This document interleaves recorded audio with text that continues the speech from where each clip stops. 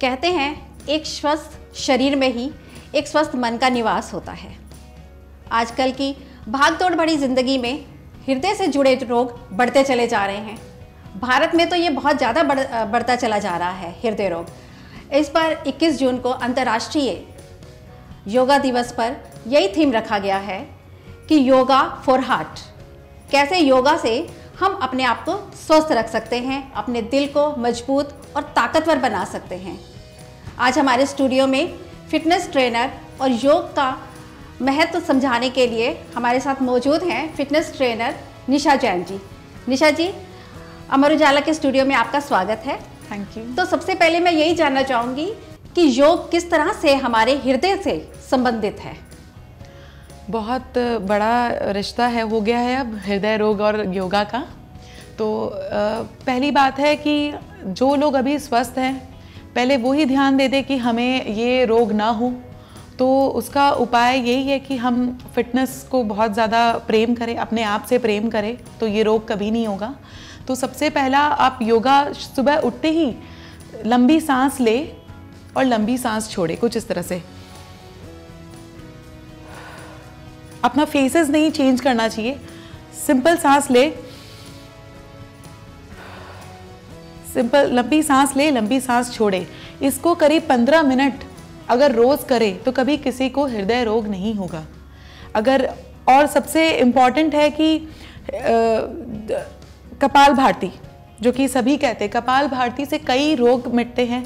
जितनी एलर्जी होती है, बच्चों को होती है एलर्जी आजकल जन्मते बच्चों को कभी किसी चीज़ से एलर्जी है कभी तो जितनी एलर्जी है, अगर हमारा इम्यून सिस्टम स्ट्रांग हो जाएगा तो वो रोग भी नहीं आएगा। तो अपने इम्यून सिस्टम को स्ट्रांग रखे और कपाल भारती करे कुछ इस तरह। अगर हम इस तरह से कपाल भारती करें, सांस छोड़े तो उनके लिए बहुत फ़ायदेमंद होगा। एक और बात कहना चाहूँगी, जो हृदय रोगी ऑलरेडी है और जिनके कई इलाज चल रहे हैं, वो अपनी स्पीड योगा में थोड़ी मध्यम रखे। मीडियम स्पीड रहनी चाहिए। जैसे कपाल भारती की भी जो यंगस्टर्स है, वो थोड़ा इस तरह करेंगे। यानी आपके कहने का मतलब ये होगा कि जो लोग नए लोग आते हैं तो। उनको बहुत संभल संभल के शुरुआत करनी चाहिए। बिल्कुल। फिर आस्ते आस्ते जैसे आपकी स्पीड बढ़ती चली जाती है आप हैचुअल हो। जाते हैं उस योग के हाँ। तो फिर आपकी सांस जो है उस तरीके उस से चलना शुरू करते हैं हाँ। तो हृदय रोग से महिलाएँ जो हैं वो ज़्यादा प्रभावित होती हैं। देखिए जो दिल होता है बहुत ही नाजुक हिस्सा होता है हाँ जी। और बहुत ही अहम हिस्सा होता है। और कितने उतार चढ़ाव आते हैं एकदम हम जोश में आ जाते हैं एकदम हम फ्रस्ट्रेटेड हो जाते हैं निराश हो जाते हैं अवसाद अवसाद से भर जाते हैं एकदम से ये सारी चीज़ें दिल इतना कुछ झेलता है हम्म। तो दिल को फिट रखने के लिए योग जो है वो हमें बहुत सारे फ़ायदे देता है हम्म। लेकिन क्या इतना असर होता है हमारे फिट रखने के लिए हृदय को बहुत ज़्यादा मायने रखता है हम जब योगा करते तो एक अलग सा रिलैक्सेशन होता है स्ट्रेस रिलीफ होता है, जो कि सबसे ज़्यादा इंपॉर्टेंट है अपने आप को फिट रखने के लिए। तो योगा एक स्ट्रेस रिलीफ का काम करता है। अगर हम कितनी ही दवाइयाँ ले, लेकिन दिमाग में स्ट्रेस है, दिल में हम दुखी हैं अभी तो वो कितना ही दवा खा ले, वो ठीक नहीं होगा। तो योगा एक ऐसा है कि वो हमें स्ट्रेस फील रिलीफ रखता है और हमें टेंशन से मुक्त रखता है। जिस समय हम योगा करते हैं, उस समय हम अपने ध्यान में रहते हैं और अपने ही बारे में उस समय सोचे, अपने ही, अपने आप को प्यार करें, अपने शरीर से प्यार करें तो वो एक अपना समय होता है जब हम योगा करते हैं। और हम दुनिया के बारे में इधर उधर कुछ नहीं सोचते हैं। तो इसका हंड्रेड परसेंट रिज़ल्ट है कि योगा से हम फिट नहीं हैं तो हो जाएँगे और योगा करते रहेंगे तो कभी बीमार नहीं पड़ेंगे। तो आगे देखते हैं कि योगा से क्या क्या आसन है जिनसे हमें फ़ायदा होता है। नमस्कार। अब मैं आपको दिल की बीमारी निदान हेतु योग बताने जा रहे हैं। पहले, सबसे पहले आप इसको भ्रामरी योग करते हैं, जैसे भौरा गुंजन करता है, भ्रमर बने भौरा। तो सबसे पहले आप ये पाँच उंगलियाँ देख रहे हो, दो उंगलियाँ ऊपर करिए, और दो उंगलियाँ नीचे। और अंगूठा अपने दोनों कान के में डालिए, और ये दो उंगलियाँ ऊपर आँख पे और दो उंगलियाँ नीचे और अपने कंठ से भौरे की तरह गुंजार करिए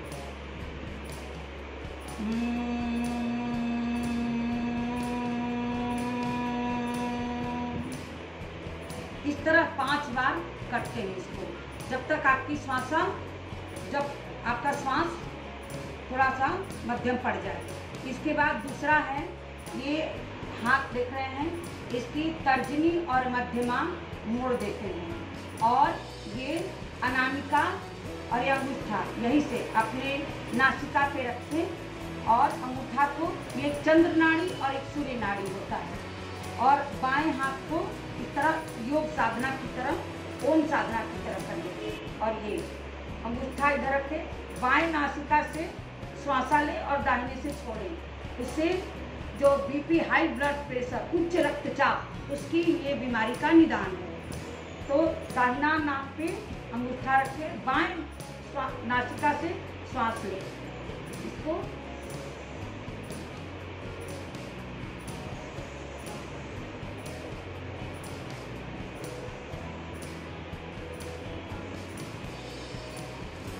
इस तरह से पाँच बार करें, जो आपके इसे अनुलोम विलोम करते हैं।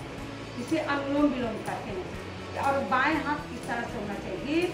आपके दिल की बीमारी मस्तिष्क के लिए बहुत ही लाभदायक है, जिसे आप कर सकते हैं। कभी भी कहीं, कभी भी, कहीं भी कर सकते हैं। आप घर में करिए या बाहर पार्क में भी कर सकते हैं। खुली हवा में। वैसे तो योग जितनी सुबह हो, उतना ही अच्छा है।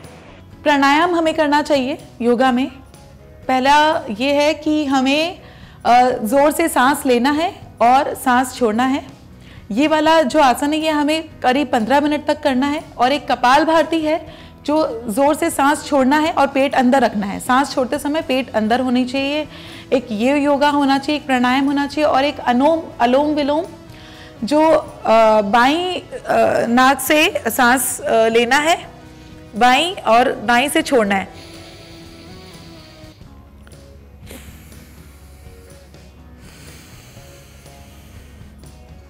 होल्ड करें सांस को और फिर धीरे से सांस छोड़े। धीरे से एक तरफ़ से सांस लेना है दूसरी ओर से सांस छोड़ना है। तो ये अगर हम बचपन से ही स्टार्ट कर दें बच्चे भी अगर इस योग को करें तो आगे जाके उन्हें बहुत फ़ायदा होगा और बच्चे जो आज आजकल के बच्चे जो एलर्जिक हो रहे हैं कि दूध से एलर्जी है घी से एलर्जी है लेमन से एलर्जी तो वो सारी एलर्जी दूर हो जाएगी और काफ़ी बच्चे स्वस्थ रहेंगे अच्छी चीज़ें खाएँगे। और ये सब बीमारियों से दूर रहेंगे। ये आपने बहुत अच्छी बात कही थी बीच में कि हम रोग से को बचाने के लिए योग करते हैं। हम्म। पैसा ना खर्च करें योग के द्वारा जो है हम अपने रोग को जो है दिल को मज़बूत करें हम्म। और ज़्यादा स्वस्थ करें। एक बात और पूछना चाहूँगी कि डाइट से भी दिल को जो है बचाया जा सकता हाँ है हाँ कुछ भी ऐसा होने से। हाँ हाँ। तो उसके लिए हम क्या करें? डाइट का बहुत बड़ा रोल है। हम अगर दिल के रोगी हैं तो घी तेल से तो दूर ही रहें और हरी सब्ज़ियाँ को डाइट में लाएँ। हरी सब्ज़ियाँ खाएँ और एक ग्लास लौकी का जूस ज़रूर पिए। और एक्यूप्रेशर है छोटा सा कि लेफ़्ट हैंड को लेफ़्ट हैंड के लिटिल फिंगर को ये जो है ये पोर्शन दबाएँ और ये जो रेखा है और लेफ़्ट हैंड के नीचे की से इसको दबाएँ। अगर आपको पेन हो रहा है तो मतलब आप सही जगह दबा रहे हैं। नहीं पेन हो रहा तो कोई दिक्कत नहीं मतलब अगर आप गलत भी कर रहे हैं तो कोई प्रॉब्लम नहीं होगा। लेकिन अगर पेन होगा, अगर आप सही एक्यूप्रेशर करें, इसको लेफ़्ट हैंड के लिटिल फिंगर के ऊपर वाले हिस्से को इधर और इधर सेम हिस्सा पैरों के भी सेम यही करें और ये पाँच, दो या तीन मिनट करें और उसके बाद लास्ट में आप, ये कोई भी एक्यूप्रेशर होता है तो बीच वाला लास्ट में दबाया जाता है। तो इसको करें तो ये बहुत बड़ा हेल्पफुल रहेगा डाइट और एक्यूप्रेशर प्लस योग।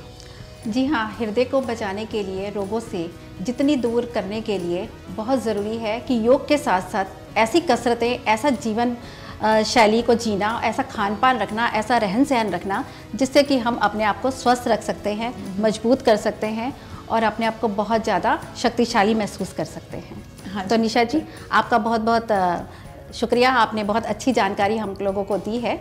इसके लिए thank you so much thank you so much